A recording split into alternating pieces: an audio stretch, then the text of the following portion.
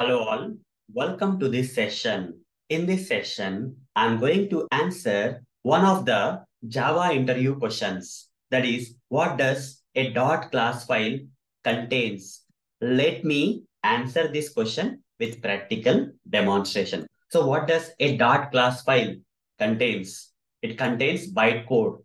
When you compile a dot Java file containing the Java code, it will result in a dot class file and that dot class file contains the byte code. Who will understand this byte code? JVM can understand the byte code. Okay. So generally in dot Java file, the actual source code of Java, that is actual code of Java, which is written in plain English using the Java keywords will be there. It will be in plain English only.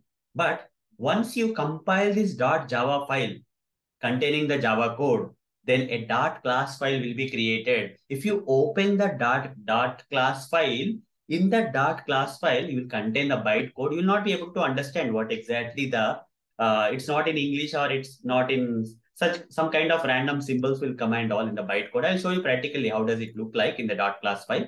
Okay, so let me practically demonstrate this for you. For that, I'll go to one location in my machine where I have this dot Java file. Okay, I created a dot Java file containing the source code. Okay, actual code of the Java, which is written in, you see this code is in English language, right? English using the Java keywords and all those stuff. Now, if I compile, if I compile this dot Java file, then we are going to get how to compile. Open the command prompt at this location where demo dot or whatever the file name dot Java file is available. You see in the sample programs folder here at this location, we have demo dot Java file containing the Java source code, which is written in plain English using the Java keywords. Now, if I compile it, Java C, and if I say demo.java, okay, the moment I press enter here, the moment I run this uh, command here in the command prompt, it will compile the source code, which is there, Java source code, which is there in the .java file, and it will create one more file known as dot class file. Press enter, it will compile and it will create demo dot dot class file. Okay, the same name, Java file name, it's given here dot class. But the question here is, what does this file contains? What is there inside that dot class file? What is there inside this dot class file? Let me show you. It contains bytecode. The answer is what? It contains bytecode. How does this bytecode looks like? Let me show you practically. Right click, then uh, open with some notepad. Just select notepad, and you'll get the code. Okay, what is there? Can you understand it? Is it in plain English? Some portions are there, but it's not completely in plain English, right? Some symbols are coming.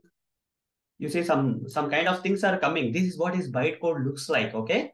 So dot class file contains what? It contains bytecode. Who will understand that bytecode? Can we understand? Do we understand this bytecode? What is there in this bytecode? No, we cannot understand what is there in this bytecode, but who can understand JVM? JVM stands for Java Virtual Machine that can understand, that can understand, interpret, and run this code. Okay. So who will understand? JVM will understand. So what will be there in the dot class file, which is uh, coming as a result of uh, compiling a dot Java file. Okay. Uh, bytecode will be there in the dot class file. Okay. So hope guys you got the answer for this question. So that's all for this session. Thank you. Bye-bye.